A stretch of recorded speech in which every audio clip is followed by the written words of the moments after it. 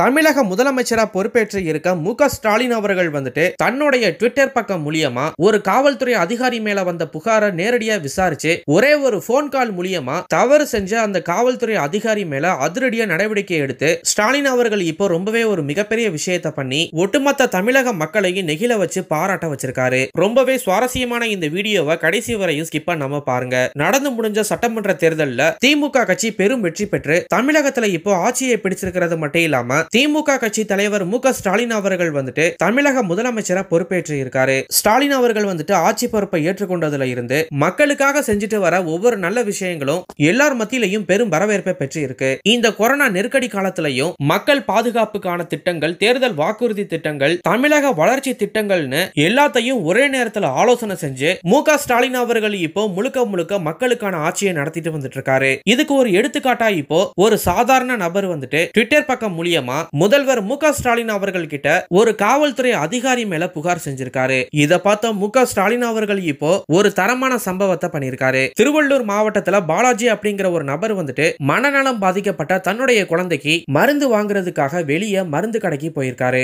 தமிழகத்துல இப்போ கொரோனா பரவல் காரணமா தமிழகம் முழுக்க ஊரடங்கு போடப்பட்டிருக்கு. இந்த ஊரடங்கு காரணமா காட்டி ஒரு காவல்துறை அதிகாரி வந்துட்டு அந்த பாலாஜி அப்படிங்கிறவர் கிட்ட அபராதம் அப்படிங்கிற பெயர்ல அவர்கிட்ட ஐநூறு ரூபாய் வசூல் செஞ்சிருக்காரு. மனநலம் பாதிக்கப்பட்ட தன்னுடைய குழந்தைக்கு மருந்து வாங்க வேற காசு எதுவும் இல்லாதனால மருந்து வாங்காம அவரு வீடு திரும்பியிருக்காரு. மனமுடைந்து போன அந்த பாலாஜி அப்படிங்கிறவர் வந்துட்டு தாம் பட்ட துயரத்தை ட்விட்டர் பக்கம் மூலியமா பதிவு செஞ்சு அதுல தமிழக முதலமைச்சர் மு க ஸ்டாலின் அவர்களை டேக் செஞ்சு அந்த பதிவை போட்டிருந்திருக்காரு. இந்த செய்தியானது உடனடியா தமிழக முதல்வர் மு க ஸ்டாலின் அவர்களுடைய கவனத்துக்கு கொண்டு செல்லப்பட்டிருக்கு. இந்த செய்தியை அறிஞ்சு வருத்தப்பட்ட மு க ஸ்டாலின் அவர்கள் வந்துட்டு உடனடியா இதுக்கான எல்லா நடவடிக்கைகளையும் எடுக்குமாறு உத்தரவிட்டிருக்காரு. அதுக்கப்புறமா தலைமை செயலகம் அதிகாரிகள்ல இருந்து காவல்துறை உயர் அதிகாரிகள் வரையும் எல்லாருமே பாலாஜி அப்படிங்கிறவரை தொடர்பு கொண்டு நடந்த எல்லா விஷயத்தையும் விசாரிச்சிருக்காங்க. அதுக்கப்புறமா இந்த சம்பவம் நடந்து நாலு மணி நேரத்துல பாலாஜி அவர்களுடைய வீடு தேடி பரபரப்பா வந்த ஒரு காவல்துறை அதிகாரி வந்துட்டு அவர் தன்னுடைய குழந்தைக்கு வாங்க இருந்த மருந்தையும் அவர் அபராதம் செலுத்திய ஐநூறு ரூபாய் பணத்தையும் அவர்கிட்டயே திரும்ப கொடுத்திருக்காங்க.